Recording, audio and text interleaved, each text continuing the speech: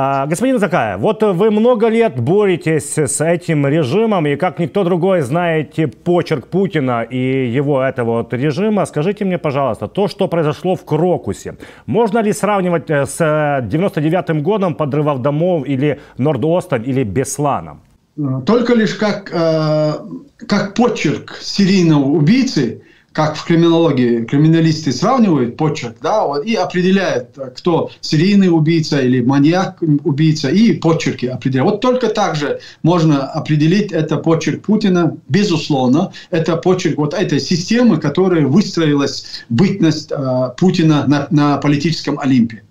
Господин Закаев, как вы вот относитесь к версии, да, и эта спецслужба, разведка США говорит, что это все ИГИЛ. Насколько вы верите в то и знаете в то, что это ИГИЛ, и насколько причастны ФСБ, Кремль и Путин э, вот этой стрельбе и убийствам в Крокусе? Я особо разницу не вижу между ИГИЛ и ФСБ. На самом деле ИГИЛ является одной из террористических ячеек ФСБ, и поэтому они могли э, использовать э, ИГИЛ как операцию, как э, для прикрытия своей собственной операции, которую они провели у себя в столице. Но абсолютно очевидно, что те несчастные люди, которые показывают как исполнители, что это далеко не про абсолютно все невооруженным глазом. Поэтому ФСБ и ИГИЛ нет. Она создавалась именно чекистами, именно в тот период, когда Россия вмешалась в сирийский конфликт. И тогда и возник ИГИЛ. Да, господин Закаев, хотел бы вам показать видео буквально за несколько часов до нашего разговора. Глава ФСБ Бортникова решила сказать, что все-таки есть след Украины. Давайте послушаем. Э, бандиты намеревались уйти за границу, именно на территорию Украины. По нашей предварительной оперативной информации их там ждали. Так что вот... Президент сказал, что окно даже было вот какое-то. Готовили, да, окошко. Но сейчас эта информация дорабатывается, естественно. Не хочу быть голословным, вот, с тем, чтобы говорить какую-то непроверенную, либо эмоциональную э, э, такую информацию. На ней основываться. Нужно говорить о фактах. Вот будем руководствоваться фактами в дальнейшей своей работе. А сейчас очень много делается для того, чтобы э, в процессе дальнейшей оперативно-розыскной деятельности выявить всех участников этой бойни, как здесь на территории страны, так и, естественно, за рубежом. А что, собственно говоря, и делается. Вот. И все наши оперативные подразделения активным образом этой работой занимаются. В том числе и с партнерскими спецслужбами дружественных государств. А можно ли предположить, что цель заказчиков была и расчет заказчиков был в том, чтобы живыми они нам вроде не попались? Ну, вы знаете, Тут вопрос э, такой э, очень специфический. Раз они, э, извините, делали ноги, значит, они все-таки намеревались уйти. Уйти, и я уж открою небольшой секрет, на той стороне их хотели встретить как героев. Вот эта фраза, она на данном, а, так сказать, на данный момент останется, значит, такой, какой я об этом сказал. Посмотрим, к чему приведет, значит, э, высказывание э, негодяев, которые сейчас э, находятся под следствием. Ахмед Халидович, как вы считаете, это они уже по ходу дорисовывают к Рокусу украинский след? Или это все они раньше спланировали? И как вы вообще оцениваете то, что вот Бортников говорит, что вот в Украине их ждали? Вот смотрите, Игорь, Первый мой комментарий, который я сделал, я сказал, что этот теракт увязан, будет связывать с Украиной. Он для этого и был совершен. Абсолютно. Без всяких сомнений. Поэтому ИГИЛ, там, не ИГИЛ, кто бы на себя не брал ответственность, основная версия Кремля, и, кстати, и Путин как э, глава террористического государства, и сегодня уже Бортников, который отвечает за все эти э, террористические ячейки во всем мире, они уже озвучили свою позицию, увязывая этот террористический акт с Украиной.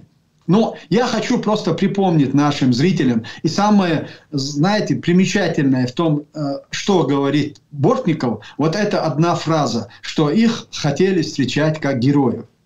А я хочу напомнить нашим слушателям, именно террористов, которые суд признал э, террористами, приговорил к высшей мере наказания, то есть 25 лет э, они были осуждены на 25 лет, а в Катаре это считается высшая мера наказания. Путин тогда, используя свои рычаги и возможности в Организации Объединенных Наций, а, это апеллируя к э, разным конфессиям, исламская страна Катар, и вот они христиане, православные, и их попросили через Организацию Объединенных Наций перевести в свою страну с тем, чтобы они этот срок отсиживали у себя на родине, в православной России. А на самом деле произошло, как только их страпа встречали красной дорожкой, и встречал их лично Путин и награждал их звездами Герои России. Вот это то, чем живет Россия. И, естественно, по-другому воспринятие мира у этой системы быть не может. Они исходят из своих а, из своего опыта, из тех моментов, которые, на котором они выросли, чем они живут. Вот и все. И поэтому, а, как бы Бортников ни старался увязывать эту ситуацию с Украиной, один раз когда был совершен теракт в 95 году, когда вы сказали, это подготовлено, да, тогда теракт был подготовлен для чеченцев чтобы увязать ситуацию э, с этими терактами, напрямую обвинить чеченцев. И поэтому буквально через час после того, как произошли взрывы, обнаружили чеченский след. Хотя в последующем ни одного фигуранта по уголовному делу, по, по э, взрывам домов в Москве, Волгодонске, Буйнакске не было ни одного чеченца. Но обнаружили чеченский след, развязали войну и э, уничтожили 300 с лишним тысячи гражданского населения. И вот точно так же сегодня, спустя несколько часов, Путин обнаружил украинский след, заявил о том, что это из Украины все было подготовлено, и что они будут доставать и ликвидировать всех, кто был привязан. Это к чему эти заявления? Естественно, нужно понимать, что сегодня, находясь за границей или за рубежом, никто не застрахован от того, что а, Путин будет пытаться расправляться с ними именно используя террористические методы. И они просто открывают себе дорогу. Любое политическое убийство, которое будет совершено на Западе или в каких-то других странах, они будут это привязывать к тому, что вот они а, ликвидировали людей, которые были связаны с терактом а, в Подмосковье. Ахмед Халидович, как вы считаете, вот этот теракт в Подмосковье, он последний или все же Кремль и Путин планируют еще какие-то убийства такого вот характера? И вот у меня вопрос, а почему именно сейчас решили э, спецслужбы ФСБ России э, воплотить вот это зверство? Дело в том, что это же не новость. А, и вопрос первый. Будут, конечно, пока Путин находится или пока есть коллективный Путин в России, теракты, насилие, войны будут продолжаться. Это однозначно. А относительно того, почему сейчас, это не сейчас. Это уже почти 25 лет регулярно а, проводятся теракты, и они проводятся под каждую какую-то необходимую им правовую реформу или юридико-правовую реформу в своей собственной стране. Вы вспомните, начиная с 90-го года, извиняюсь, а, с 2002, с 98, с 99, с 2002 и по сегодняшний день, каждый раз, когда проводился какой-то террористический акт, вслед за этим они принимали какие-то политические решения. Это как свертывание свободной прессы после Норд-Оста, угу как отмена региональных выборов после 2004 а, года в Беслане в теракте, а, последующем, когда необходимо было ликвидировать внутренних и внешних врагов, были приняты законы, а, позволяющие, это было это произошло после 2004 года, когда Зелимхан Яндарбиев был взорван, и тогда были задержаны российские спецслужбы. И они, о чем я говорил в начале нашего разговора, им удалось большим трудом вытянуть их оттуда. Поэтому они уже в 2006 году, а, перед убийством Александра Литвиненко, Анны Политковской, они приняли законы, позволяющие, первый закон, уравнивающий критиков с государственными изменниками и экстремистами-террористами, и второй закон, позволяющий российским спецслужбам, где бы они ни находились, ликвидировать врагов российского государства. И сегодня за этим терактом, который произошел в Москве, я уверен в том, что произойдут какие-то именно политического плана или юридико-правового плана какие-то изменения. Они нам об этом объявят. Я повторюсь, может быть, но это как раз-таки вот к вашему вопросу. Что за этим может последовать? Вы обратили внимание, что Песков после вот этого теракта впервые официальные, официальные лица России заговорили о войне в Украине. Да, да. До этих пор они говорили о спецоперации или о, об операции. А сегодня сказали о войне. Значит, война это подразумевает всеобщую мобилизацию. Если будут те, кто попытается уклониться а, от всеобщей мобилизации в соответствии с законом военном положении, военном времени, они являются государственными изменниками и дезертирами. А дезертиров положено, государственных изменников, предателей, положено э, им э, положена смертная казнь. И вот сразу же сейчас вот уже заговорили в Думе о том, что нужно отменить мораторий на смертную казнь. Я думаю, вот в этом ключе, в этом, в этом кругу и будут развиваться события а, после вот этого теракта. Да, а, господин Закаев, а вот если говорить о...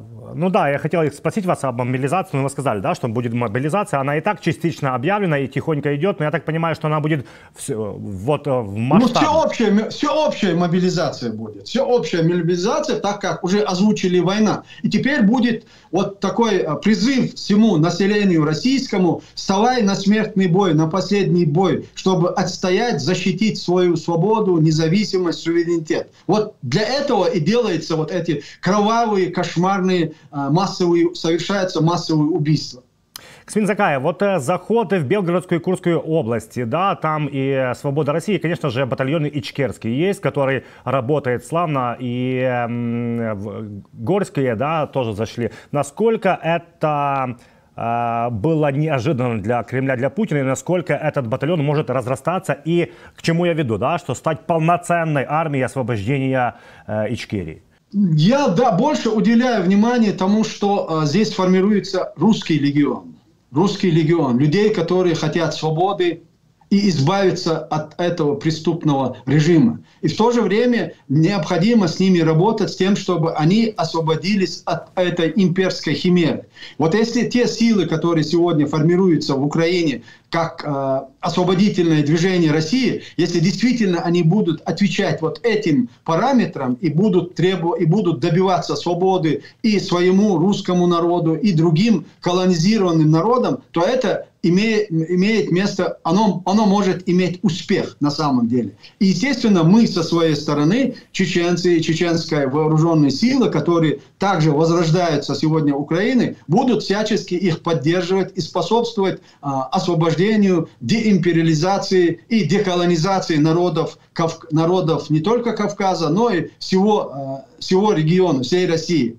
Поэтому а, у нас есть взаимодействие. А вот насколько это было неожиданно для Кремля, это мне сложно судить, потому что они уже понимают. Естественно, у них есть и своя разведка, и есть информация. Но вот готовы, в состоянии ли они защитить свою страну по всему периметру? Вот это вопрос. Ведя вот такую агрессивную войну против Украины, сумеют ли они защитить и свою собственную территорию, а, которая является очень огромной. Это самая большая страна в мире. Поэтому вот в этом отношении у меня есть вопросы. И вот именно именно Белгород, Курская область, Воронежская область, вот эта часть России, она может стать на самом деле мощным плацдармом для национального освободительного движения России и русских против вот этого колониальной хунты, вернее, имперской хунты, которая сегодня эксплуатирует и население этой страны, и ресурсы этого государства и этой страны. Господин Закаев, также хотел бы вспомнить о Кадырове, потому что он долго молчал, и, ну и, конечно же, война в Украине заставила немножко его молчать и его бойцов, потому что э, эти э, два, более чем два года войны показали, что э, террористы Кадырова, они не такие сильны, как э, в ТикТоке, да, они записывают. И вот, э, когда произошел теракт в э, Крокусе, Кадыров вышел и сказал, пригрозил российским ультранационалистам, э, что он будет с ними бороться. Правильно ли я понимаю, что вот Кадыров молчал-молчал, а вот когда можно своих бойцов использовать э, к мирному населению, да, тогда он готов э, терроризовать. А вот на войне как-то не получается воевать, они не умеют. Дело в том, что я не хочу даже комментировать Кадырова. Он не играет никакой роли ни внутри политической ситуации самой России, даже в Чечне. Он исполнитель, он назначен, он поставлен как а, руководитель оккупационного режима. И все, это вся его функция. Он будет делать то, что ему говорят с Кремля, и не более того. И заявления исходят оттуда, и любое его действие, оно напрямую связано с решением Кремля. И поэтому об, говорить о нем как об отдельной субъекте, об отдельном субъекте или об свободной личности, я думаю, нет смысла нам заниматься этим. Да, и э, хотел еще спросить о Чечне, господин Закаев, насколько э, люди в Чечне именно запуганы его властью, насколько он все серьезно там держит? Или все-таки в какой-то момент люди ожидают, да, что вот э, кто-то что-то начнет против Кадырова? Потому что мы понимаем, что все держится на э, страхе. Дело в том, что Чечня, она абсолютно на сегодняшний день э, нейтрализована в плане противостояния России. В нашей истории противостояния, многовековой борьбе против империи, Российской империи, наступали периоды, когда чеченцы э,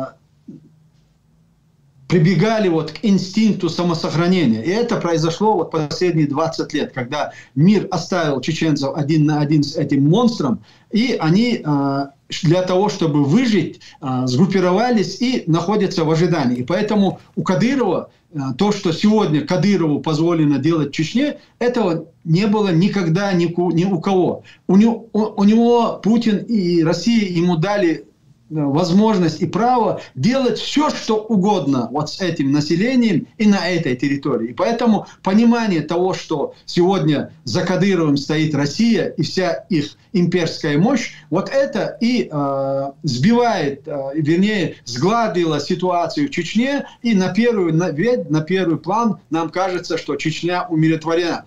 И это у нас как бы исторический опыт выжидать до определенного момента и в последующем уже продолжать борьбу и добиваться своих целей. Я уверен в том, что мы переживаем вот этот очередной этап затишье перед бурей. Ну вот да, и хотел также вспомнить, что наверняка же э, ичкерцы очень хорошо помнят и э, знают свою историю, как российская, Россия э, делала геноцид этого народа, да, и сотни тысяч вывозила и убивала. Все правильно, абсолютно. И у нас и память хорошая, и, э, и опыт противостояния очень, э, очень дол, дол, долгий и длинный. Поэтому мы никто ничего не забыл. И то, что сегодня чеченцы находятся вместе с украинцами и стоят, отражают российскую агрессию, и здесь формируется с каждым днем все новые и новые подразделения, это говорит о том, что чеченцы не отказались не от идеи независимости, не от идеи деоккупации нашей страны. Но все это будет решаться здесь, именно на фронтах Украины. И поэтому все у нас все наши усилия сосредоточены и направлены для достижения победы Украины над Российской империей. А, Ахмед Халидович, э, все мы знаем, да, и учим историю, что все войны оканчиваются какими-то разговорами, какими-то а, подписями. Как вы считаете, есть ли шанс в Российской Федерации сберечь свои границы после войны в Украине, после того, как она проиграет эту войну в Украине? Я, я абсолютно не допускаю, что Россия может сохраниться в тех границах, в которых она начинала а, войну против Украины. Если это так произойдет, это не будет ни победой Украины, ни победой цивилизованного мира. Это будет просто отложенная война, потому что Россия точно так же, как она это делала раньше, наберется сил через несколько лет и снова начнет войну. То есть они об этом, а, они об этом а, публично заявляют всегда и заявляли. И поэтому для украинцев и для всего цивилизованного мира победа Украины будет означать де, де, э, демонтаж и деинтеграцию Российской империи. И э, трансформация этой страны в какое-то другое государственное образование. Вот это только можно назвать победой. А правильно ли я понимаю, Ахмед Халидович, что вот э, даже моделируем ситуацию, что произойдет смена Путина, это никак не повлияет, потому что система, Путин это система, а не человек, да, и это то, что э, выстроили и то, что есть. Абсолютно точно. Я эти последние годы только это и утверждаю. Когда мне говорят о необходимости смены режима, И российская оппозиция, так называемая, они все время и долдонят об этом. Смена режима, смена режима. А мы должны говорить не о смене режима, а о тех переменах, которые должны произойти после э, окончания войны э, в Украине. А эти перемены, они должны диктоваться из принципа права народов на самоопределение и дезинтеграции вот этого территориального террористического государственного образования. И только в этом случае можно говорить о полной победе, о свободе и, в первую очередь, русского народа. И поэтому никаких другого шанса, кроме как добиться дезинтеграции, нету в этой войне, в этом конфликте.